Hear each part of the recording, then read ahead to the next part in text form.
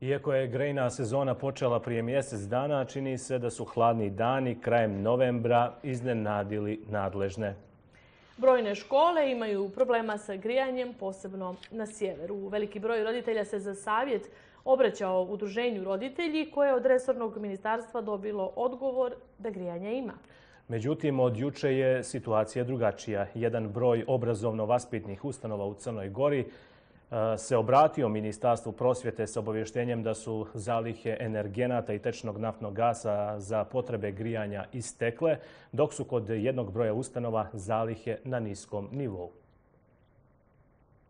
Problem nabavke i snadbijevanja ovim energentima je uzrokovan prije svega višestrukim skokom cijena pojedinih energenata, pa su preduslovi za nabavku istih u dovoljnim količinama stvoreni tek usvajanjem rebalanse budžeta, u kojem su pozicije za ove rashode uvećane za više milionske iznose. Kako smo upoznati od kolega iz Uprave za katastar i državnu imovinu, koja je inače organ nadležan za ugovaranje ove vrste nabavki, u nabavku se krenulo odmah po usvajanju rebalansa budžeta i trenutni pregovarački postupak koji se sprovodi je u završnoj fazi, to jest čeka se dostavljanje dijela dokumentacije od prvorangiranog ponuđača, što skori završetak javne nabavke i potpisivanje predmetnog ugovora je jedini način za rješavanje ovog problema, uzimajući u obzir zakonski okvir.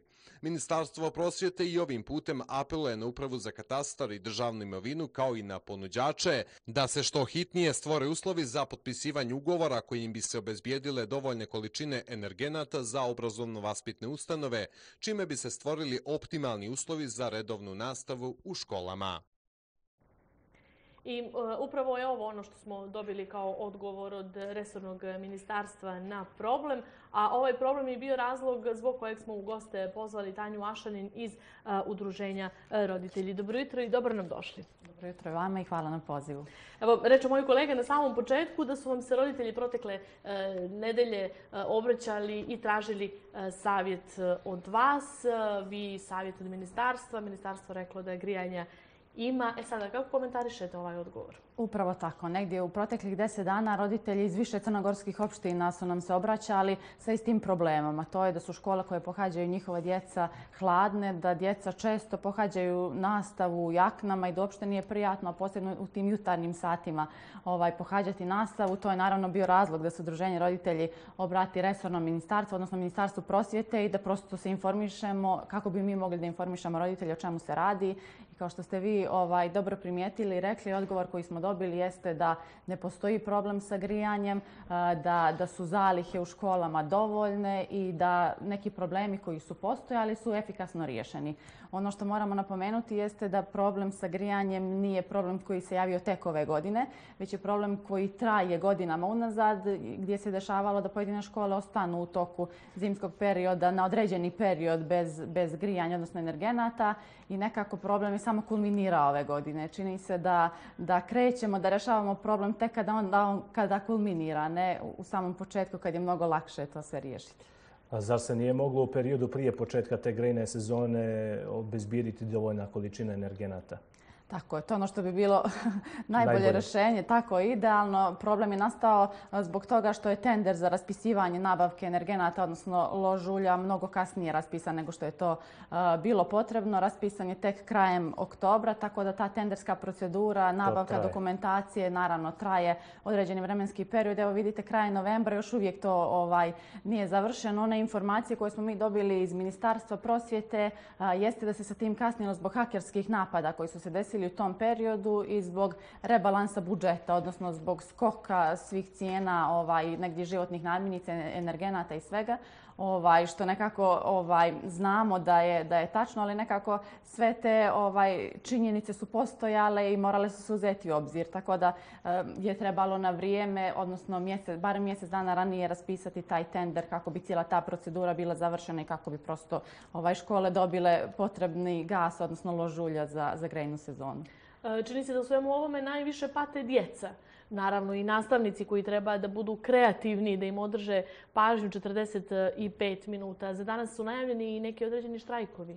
Tako je. Nama su se roditelji obraćali iz više crnogorskih opština. Posebno je to problematično u školama na sjeveru. E, dobili smo veliki broj poziva iz Mojkovca, Bijelog polja, e, Beran, Andrejevice, svih tih e, gradova gdje su temperature danima unazad bile niske gdje je bilo potrebno zagrijati te prostorije. Ovaj, ove sedmice smo dobili pozive čak i iz Podgorice jer su se i ovdje nekako spustile temperature i ovdje je potrebno da budu zagrijene prostorije u kojima borave mališani. I upravo to ovaj tjedno što ste kazali najveći problem. Djeca ispaštaju ovim situacijama. Mi jesmo saglasni sa tim da su cijene skočile, smo saglasni sa tim da je sigurno bilo problematično zbog hakerskih napada, ali sve te situacije kada uzmemo obzir ne možemo staviti po strani da, da djeca ispaštaju. Prosto moramo uzeti sve te nekako činjenice obzir i naći način da na vrijeme reagujemo, da ih na vrijeme riješimo kako djeca prosto ne bi došla u situaciju da u zimskim jaknama pohađaju nastavu. Nekako jedno od osnovnih njihovih prava je pravo na obrazovanje i moramo im zaista kao država stvoriti optimalne uslove da stvarno mogu to pravo da ostvare. Rekli smo da ovaj e, proces e, traje oko javnih nabavki. Kada bi situacija mogla da se riješi, imate li kakvu informaciju? Tako je. Proces traje još uvijek.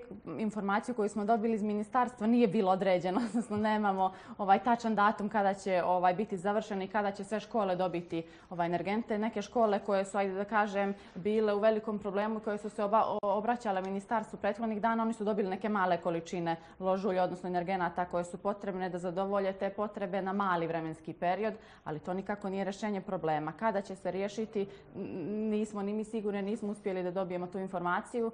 ono što znamo sada jeste da, su neke škole, odnosno jedna škola u Kolašinu najavila štrajk jer su veoma ovaj, hladni dani, djeca, kao što sam rekla, u zimskim jaknama pohađaju nastavu, što, će, što složit ćete se, nije, nije ovaj, nekako nisu humani uslovi. Štrajk je najavljen danas za 8 sati, ali nije problematična samo ta škola, već iz iste kotlarnice griju i srednja škola i osnovna muzička škola i nekako vrtić koji pohađaju djeca predškolskog uzrasta kojima je zaista neophodno da bude ovaj prijatan prostor u kom borave.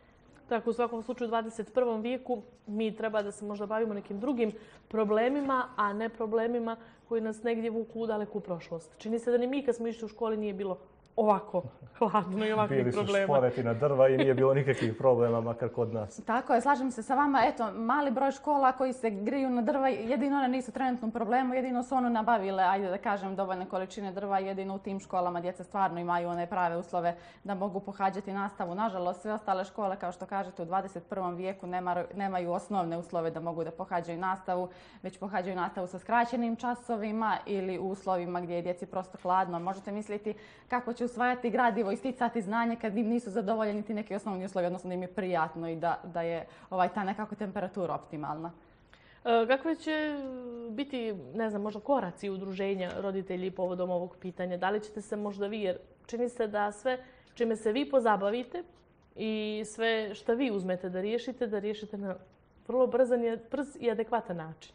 Mi ćemo svakako pratiti situaciju. Mi smo bukvalno u svakodnevnoj komunikaciji sa roditeljima iz više opština koji nam se javljaju povodom ovog i sličnih pitanja.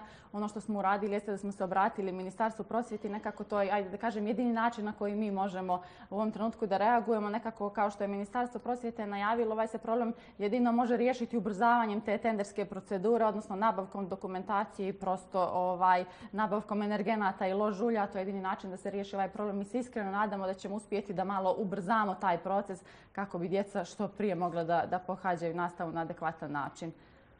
Da li je ovo kap predala definitivno čašu kada je u pitanju obrazovni sistem? Znamo sa koliko problema se suočavamo svih ovih mjeseci. Nedavno je UNICEF izašao i iznio sva ta istraživanja sa kakvim se sve problemima suočavamo. Pa kakav je vaš stav? Tako je, definitivno u našem obrazovnom sistemu postoje brojni problemi nekako koje treba rešavati. Čini se da kada zaokružimo priču u jednom trenutku nekako iskrsne neki novi problem.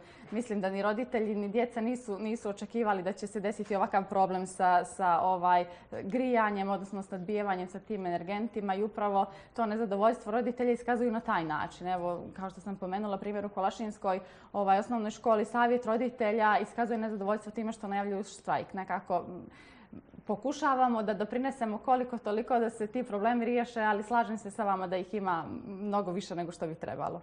E, evo, ostalo nam je još malo do kraja godine. Nekako čini se da svaki dan sve sitnije i sitnije brojimo do mhm. završetka ovih 365 dana.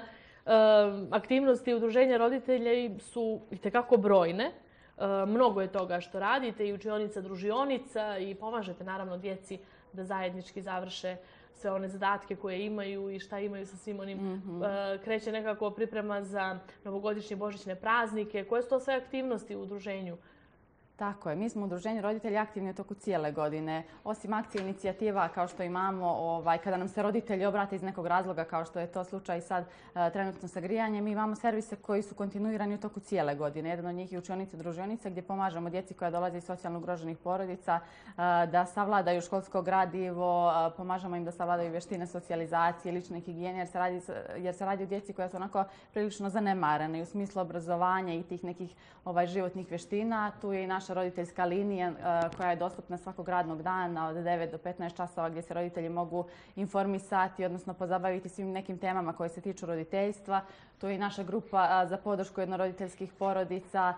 Nekako mi se zaista trudimo da u toku cijele godine budemo podrška kako roditeljima, tako i djeci u smislu obrazovanja i svim drugim pitanjima koji se tiču ostvarivanja prava kako djece, tako i roditelja. Nekako nama je decembar uvijek, kao što ste pomenuli, rezervisan za praznik, odnosno akciju Buditi neči da mraz i mi se unaprijed radujemo njoj i onako pripremamo ovaj, uvelike nekako ta, ta dešavanja aktivnosti koje će biti, odnosno pisanje pisama ovaj, Deda Mrazu koja djeca onako sama osmisle šta je to što im treba. Bili su stvarno vrijedni u toku cijele godine, dolazili su redovno na časove, odnosno podršku pri učenju, tako da vjerujemo da su zaslužili onako ovaj, svi po taj neki mali poklončić koji su htjeli u toku cijele godine. Ovaj, tako da smo trenutno u tome, nastavljamo punom parom tim aktivnostima i radujemo se nekako i praznicima i svim tim novim aktivnostima koje dolaze. Tako je, radujemo se i mi svem onome što budete radili jer i za nas će biti dosta posla. Tanja, ništa. Hvala puno na ovom razgovoru i srećno u ostvarivanju svih ovih e, aktivnosti koje namjeravate da preduzmete do kraja godine, a svakako i u buduće. Hvala i vama na pozivu. Tanja, hvala.